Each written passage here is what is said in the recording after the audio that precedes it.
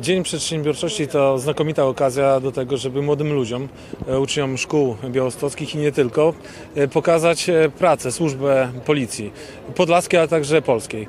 Policja podlaska szczyci się bardzo dobrymi policjantami, którzy w różnego rodzaju konkursach ogólnopolskich zdobywają bardzo dobre wyniki, dzięki temu, że i dysponują odpowiednim sprzętem i przeszkoleniem.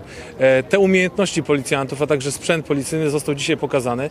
Ma to na celu zbliżenie do policji polskiego społeczeństwa młodych ludzi, którzy często potrzebują wzorców do naśladowania w swoim życiu. Daje to nam również okazję do zaproponowania służby pracy w policji młodym ludziom, bo takich młodych ludzi, wykształconych, inteligentnych potrzebujemy w służbach policji.